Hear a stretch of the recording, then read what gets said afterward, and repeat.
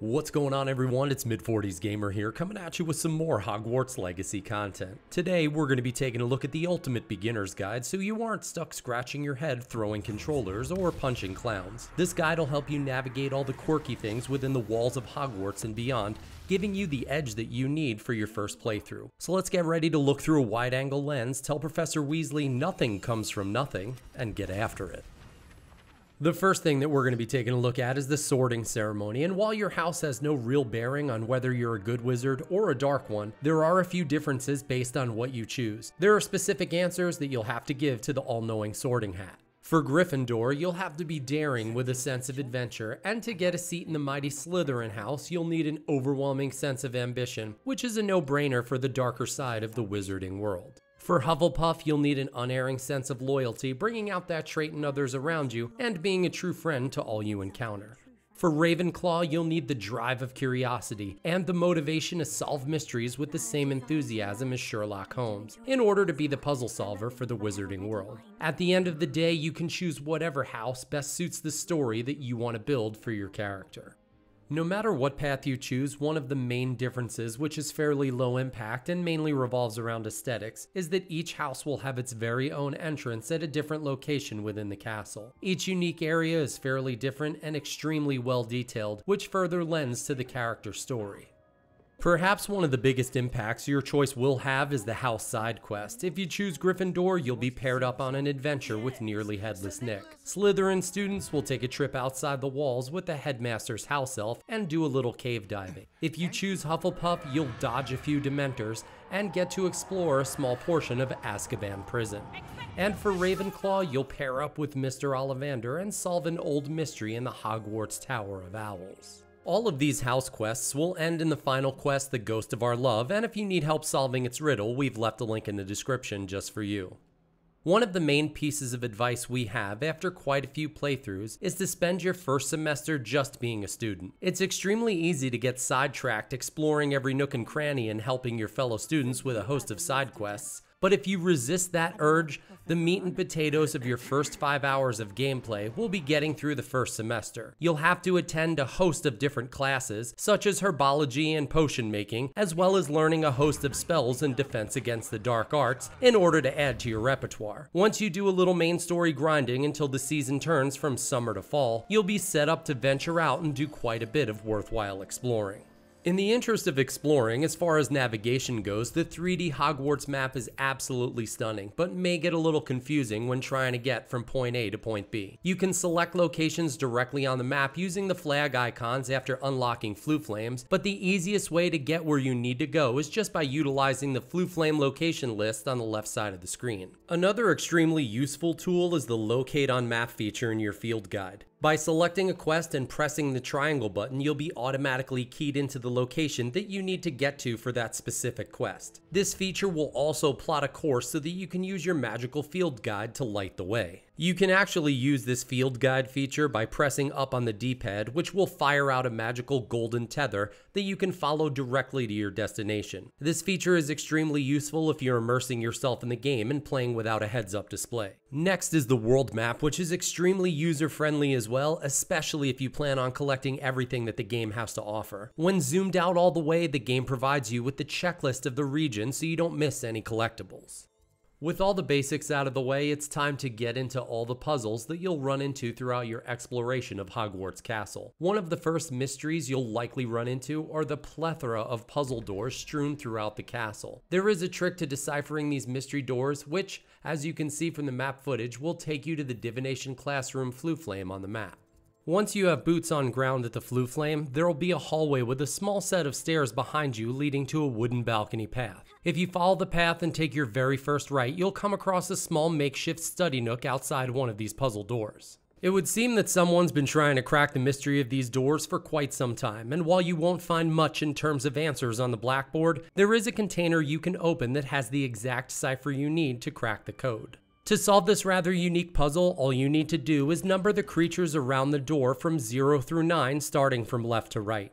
This will allow you to do some gee whiz math to answer the two sums on the door by utilizing the nearby question mark mechanisms to display the missing numerical code. Once you solve both math problems while counting on all your fingers and toes, the door will open revealing some well-earned treasure. While wandering the halls, you'll also come across mirrors surrounded by a frame comprised of butterflies which serves as a small puzzle. In order to solve them, you'll need to utilize Lumos, which will reveal a picture of a nearby area where the frame's missing butterfly is located. You'll need to find the butterfly, cast Lumos to attract it to the light, and lead it back to the frame. Once you stop the Lumos spell near the mirror, the puzzle is solved, and all that's left to do is to add the field guide page to your collection.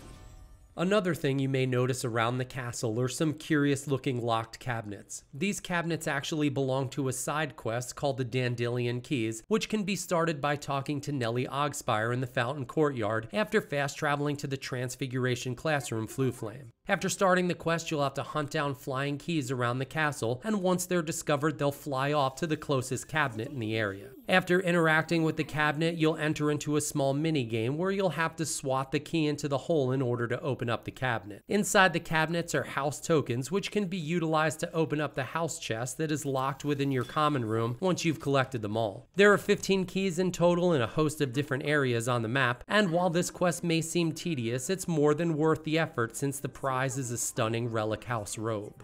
Our next stop will be Hogsmeade, which is reached early on as the sixth main quest within Hogwarts Legacy. Much like the castle, you can get a bit lost in the overwhelming landscape of this quaint wizarding village, but you'll be prompted to visit Tomes and Scrolls, which primarily sells conjurations that can be used in the Room of Requirement once you unlock it. Obtaining them all will take quite a bit of coin, and if you need a fast farming method, we'll leave a link in the description just for you. You'll also need to visit J. Pippin's Potions, where you can buy potion ingredients and recipes so you can whip up your own potions at potion crafting tables. Potions can be fairly useful when playing on harder difficulties, particularly for the offensive and defensive effects. You'll also visit the Magic Neep for your very basic plant seeds in order to hone your green thumb and develop your own potion ingredients. And while you aren't prompted for the quest, you can also head over to Dogweed and Deathcap for some more aggressive plant products such as Mandrake and Venomous Tentacula. One of the most prominent pieces of wizarding equipment for any wizard can be found at Ollivander's. After all, what's a witcher wizard without a wand? The wand making process is very in-depth, however, it has no bearing on wizarding power and is purely aesthetic. That being said, you do have the ability to create the perfect wand for you by changing the wand's style, wood type, length, flexibility, and the core. The three cores are Dragon Heartstring, Unicorn Hair, and the Phoenix Feather. Once you finalize your wand, you'll have it for the duration of the game,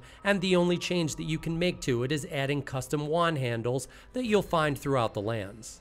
Another thing that's important to note is that you should use Revelio as often as you can in order to uncover field guide pages and other treasures or collectibles nearby. Collecting these pages offers quite a bit of experience as well as rewards in the collection challenge section of your field guide. You'll encounter quite a few flying pages as well, and to pluck them out of the sky, all you'll need to do is cast Accio to add them to your field guide.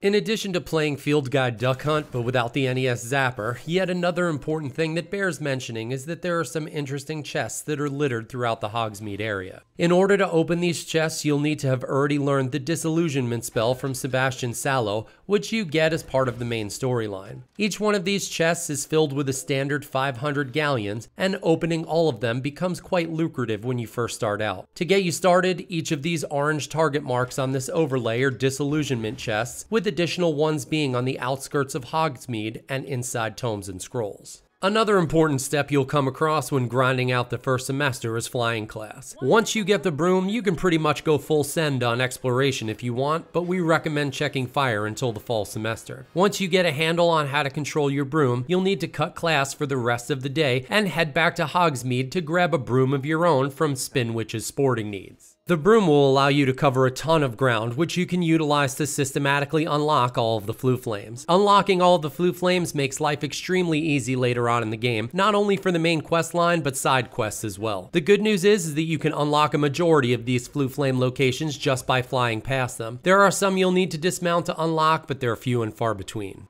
There are also quite a few challenges outside the walls of Hogwarts, and if you're into cosmetics, there's a collection task that'll reward you with a pretty sweet gear set, the Quidditch Captain's uniform. All the pieces of this set can be attained by landing on a series of hidden landing pads across the Highlands, and then claimed in the landing platform section of your exploration challenge log. The set includes the uniform, helmet, gloves, and cape.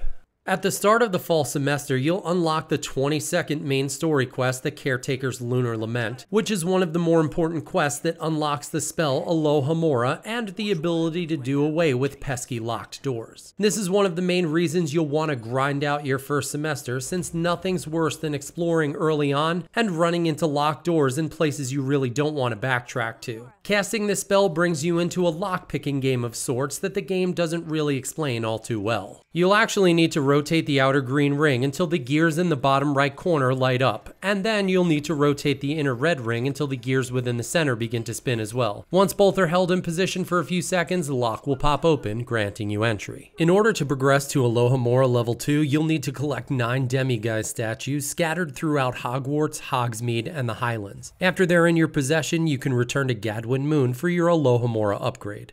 To progress to the final level, you'll need to collect an additional 13 demiguise statues for Alohomora level 3. It is important to note that the demiguise statues can only be interacted with at night in order to collect the demiguise moon that's held inside. And if you discover one during the day, you can always open up the map and change the time from day to night. There are three main secrets that Hogwarts Castle has to offer, the first one being the Clock Tower puzzle, which prevents you from entering four gated doors with some fairly special loot inside. For this secret, you'll need to either have learned Arresto Momentum or Glacius in order to stop the pendulum at key points in its movement. Casting one of these spells stopping the pendulum in front of the symbols will temporarily open the gates barring the way to the coinciding doors. The doors are marked with the unicorn, the owl, the mantis, and the goblet symbols, and on top of the loot that you'll receive from this puzzle, you'll also complete one of three secret Hogwarts challenges in your field guide. In order to get the timing right, you'll need to know the path you'll be taking to each of the doors since spells don't exactly last forever. After opening the last chest, the next secret we'll be taking a look at is the Headmaster's Key, and you'll not only need to be equipped with Alohomora level 3 to complete it, but you'll also need to have progressed far enough in the game to access the Headmaster's office, which doesn't happen until the winter semester. Once in the office, you'll need to unlock the door to your left in order to reach an exterior walkway that leads up a set of stairs to another locked door. Once you unlock the second door, you'll gain access to a small room where you'll find the key of admittance, which is located on the desk. With the key in hand, you'll need to head back down the stairs to a door with a rather elaborate lock. Once the door is open, you'll find a legendary chest, a few collection chests, and a very rare field guide page.